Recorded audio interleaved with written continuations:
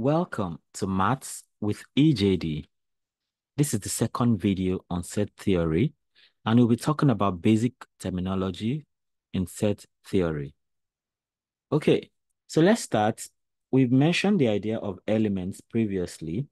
So let's talk about elements or members of a set.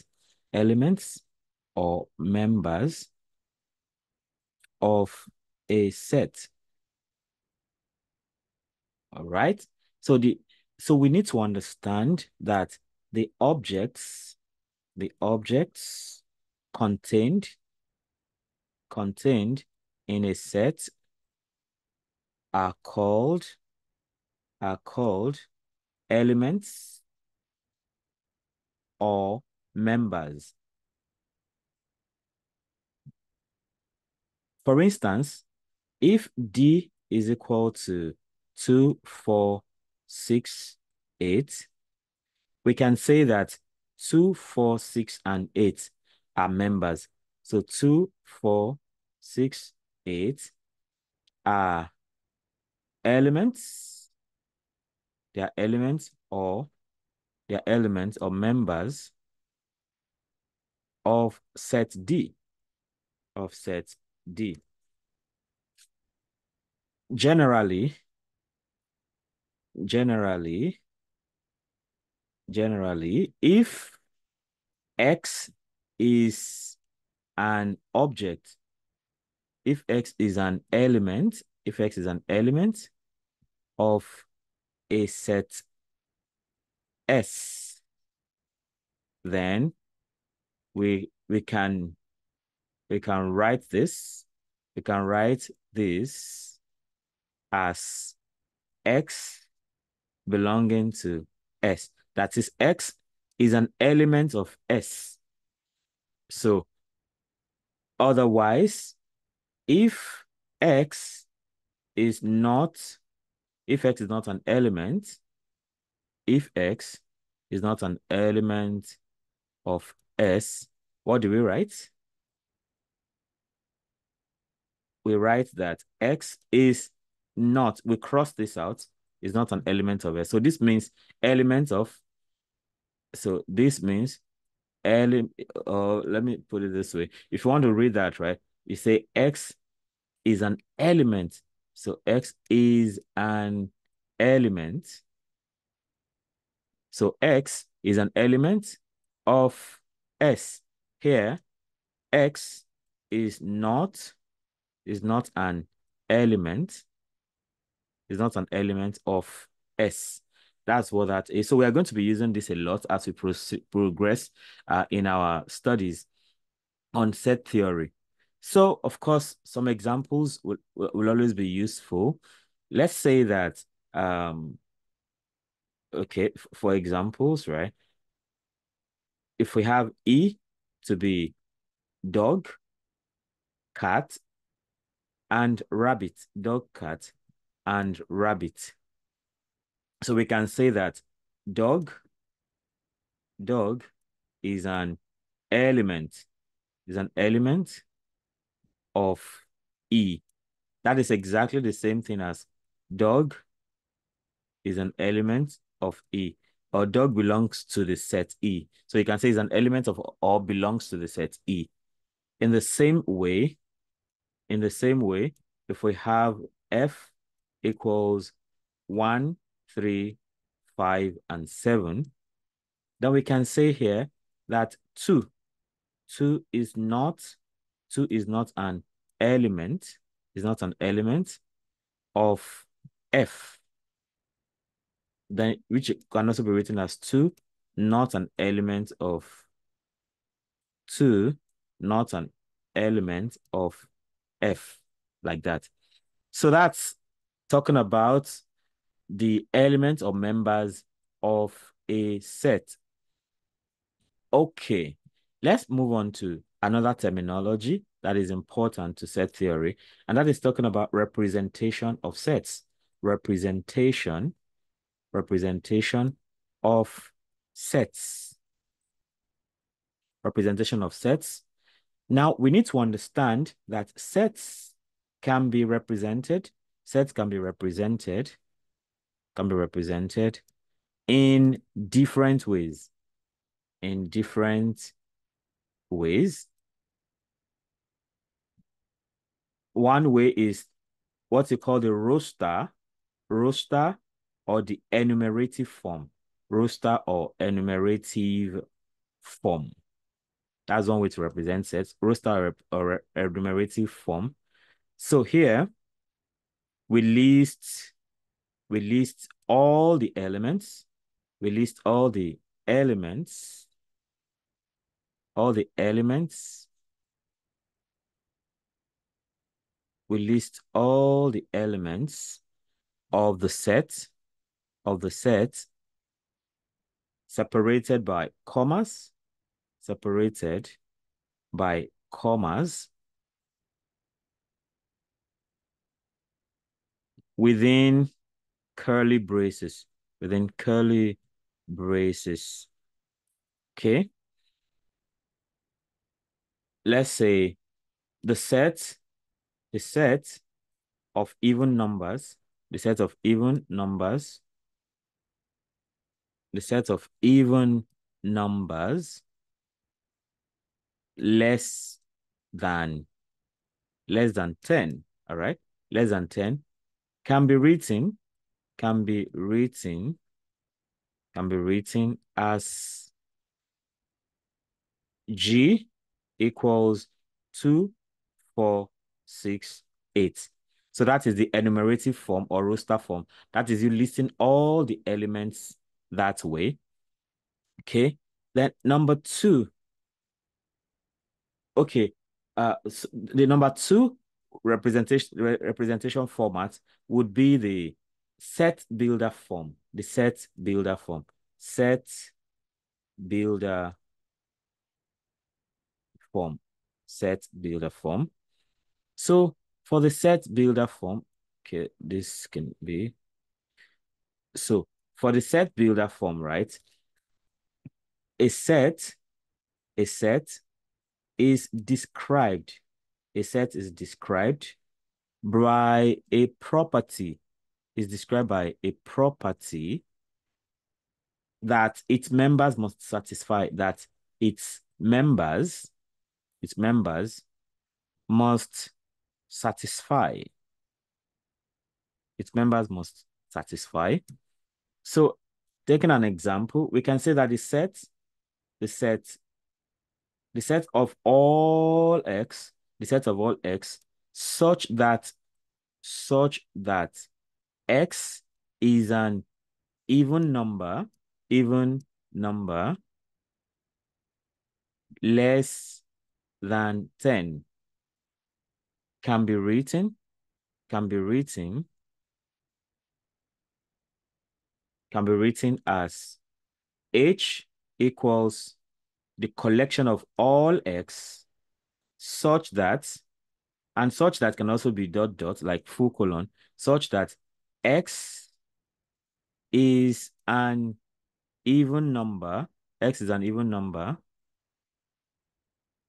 less than 10. So what we have here is the same thing as G, except that in the G case, in this case, we listed all the elements, but in this case, we give we give a representation for all the elements, which is still match with the previous case. So this is it. In another case, we can give uh, we can have let's say we have another example, right? Another example would be say I is equal to the collection of all x such that such that x is greater than zero and x is a multiple, x is a multiple of 3. So we need all positive numbers greater than 3. That is what this is saying. So normally, if you are going to list the elements of this set, right, of the of, for h, for instance, x is an even number less than 10. So that's still 2, 4, 6, and 8. So, you know, you can transform from it from represented uh, from the set builder form to the roster form or from roster form to set builder form. So it's all about your comprehension. So x is the so you have i is a collection of all sets of all x such that x is greater than zero and x is a multiple of three. So if you want to list this in uh, in roster form, so that will be multiples of three, right? That's three, six, nine, 12, and so on and so forth. So that's like an infinite set as, as you're going to see very soon. So all positive numbers that are multiples of three, that is what I represents. So you can, you know, you can switch between the two, the set builder form and the uh, enumerative or roster form. So that talks about representation of sets.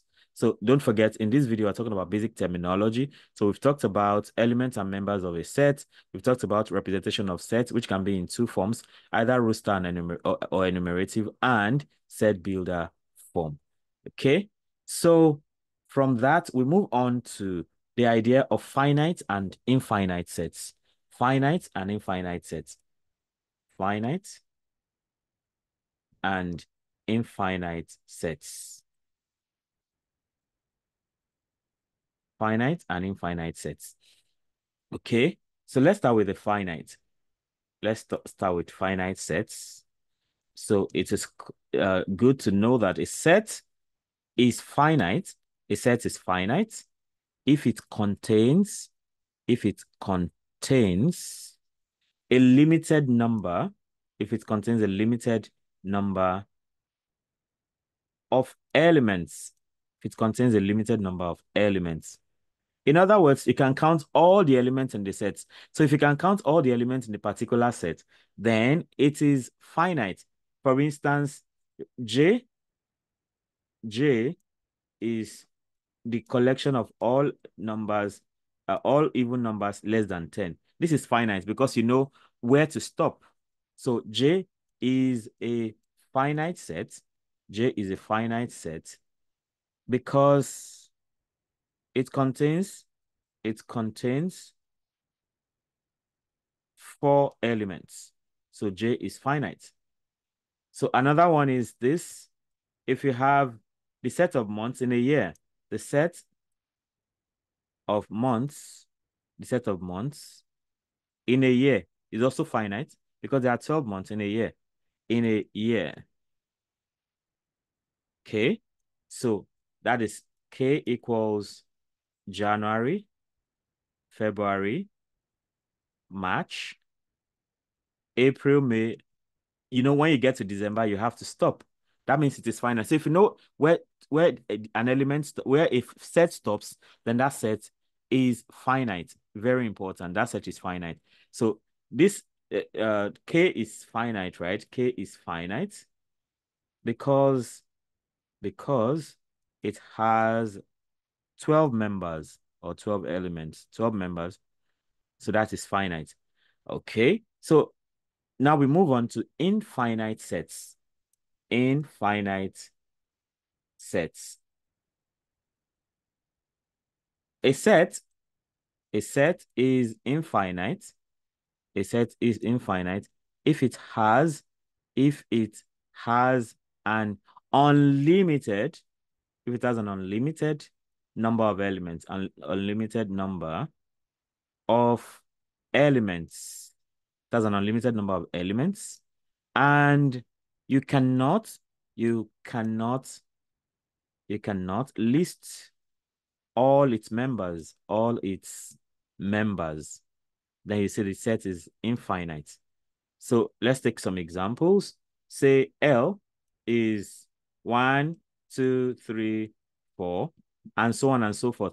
So usually these three dots will tell you that the set continues forever, especially if you can see I I use the three dots here before December. If something comes after the three dots, that means the set is probably finite. But if nothing comes after the three dots, then it is it is if something comes after the three dots, right, it is finite. If nothing comes after it, that is that means it is infinite. So L now is infinite. It is infinite because because there is no end because there is no end to the natural numbers. So the set of natural numbers is infinite. The set of natural numbers. So there's no end to the natural numbers. of course, if I say something like, uh, I need the set of all natural numbers less than 1,000, that is still finite because, you know, once you start counting from one, and as you get to 999, uh, 999, that is the end. All right. So if, uh, even if it is 1 million, that is still finite. But if it is just open-ended uh, and you just you're just talking about natural numbers, that is infinite. Okay. So another example will be the set, the set of all points, the set of all points on a line, the set of all points on a line is infinite, is infinite because because a line, because a line extends indefinitely, because a line extends indefinitely, indefinitely in both directions, in both directions, directions. So if you have a line, if you think this is all there is about the line, you can still extend it either way. You can keep extending it forever and ever. So that's why the set of all points on the line is infinite because the line extends indefinitely in both directions. Okay, so it, now let's talk about equal and equivalent sets. Equal and equivalent sets. That's also another terminology, very important. Equal, equal, and equivalent sets. Equivalent sets.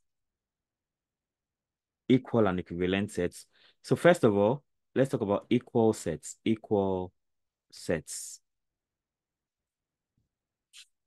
Two sets are equal. Two sets are equal. Two sets are equal if they contain, if they contain exactly, exactly the same elements, exactly the same elements, regardless, regardless of the order, regardless of the order or repetition of elements. So set doesn't care about repetition. So if you have one element repeated one million times, as far as set is concerned, it is seen as one. So regardless of the order or repetition or repetition of elements of elements. So let's see an example. If M, M is equal to one, two, three, all right, and N is equal to three, two, one. So you see the order doesn't matter, and N is three to one, then, then M and N M and N are equal. M and N are equal because because they contain because they contain the same elements. They contain the same elements.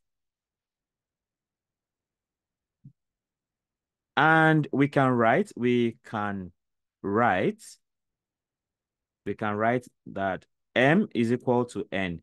So the order or repetition is not an issue. Okay, so another example, if we have a particular set P, which is equal to A, B, C, and we have set Q, which is equal to A, B, B, C, C, okay? Then it is clear, we need to know that then P and Q are still equal. P and Q are still equal. P and Q are still equal because the repeated elements, because the repeated, the repeated elements B and C in Q do not do not add anything new. Do not add anything new. So repetition in sets does not add anything new. So this and this are still equal because they contain the same number of the same elements, the same number of elements, repetition or no repetition.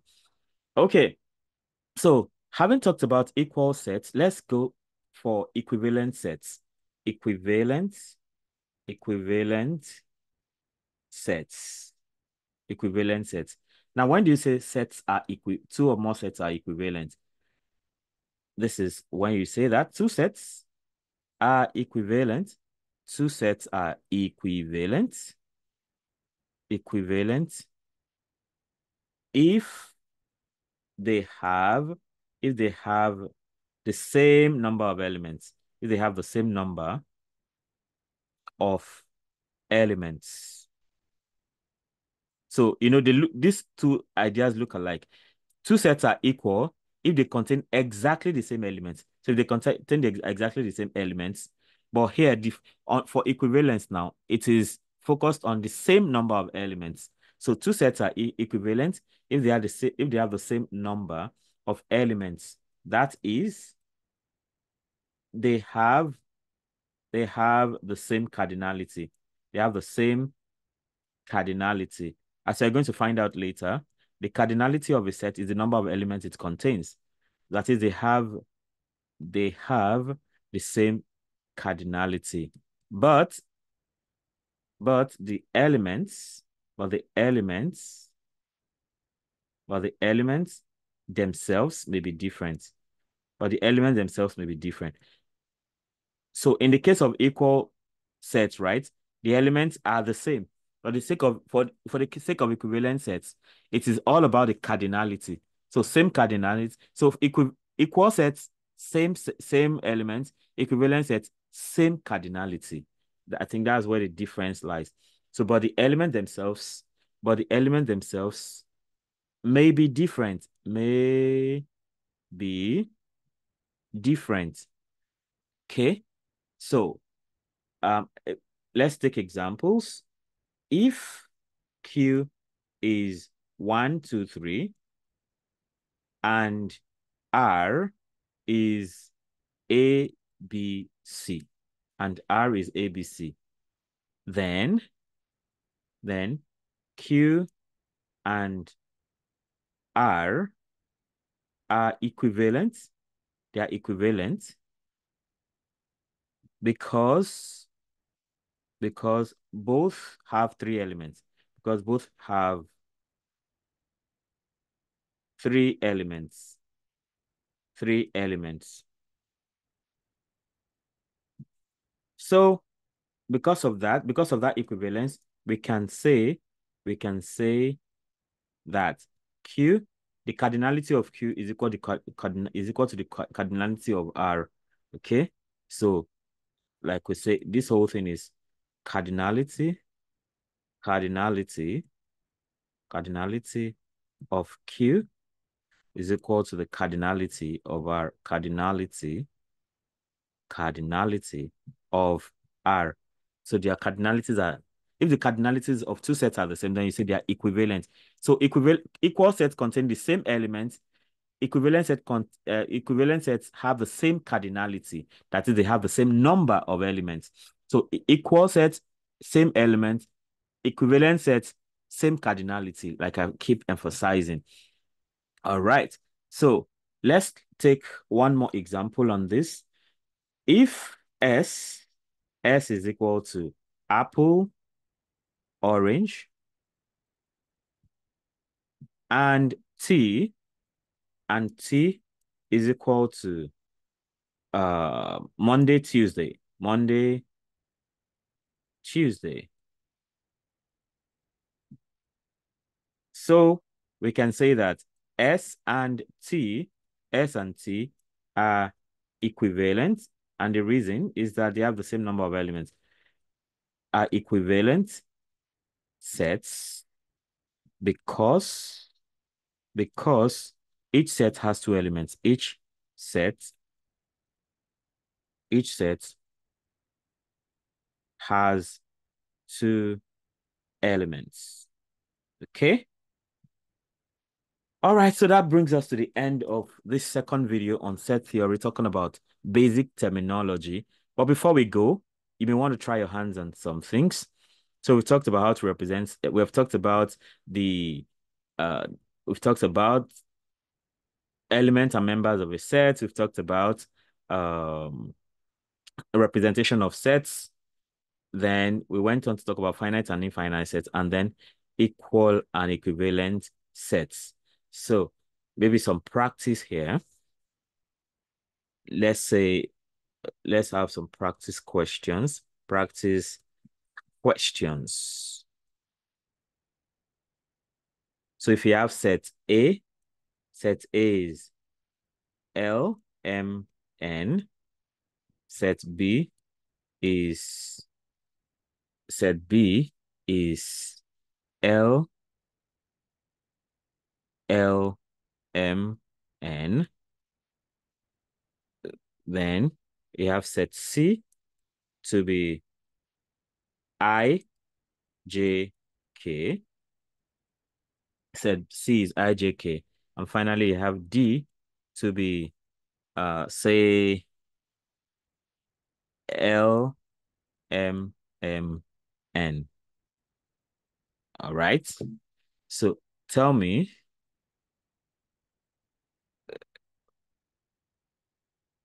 which, so given that, given all that, which sets are equal, which sets are equal? One, two. Which sets are equivalent? Which sets are equivalent? Okay, simple task. Which sets are equivalent? All right. So with that, we come to the end of this video.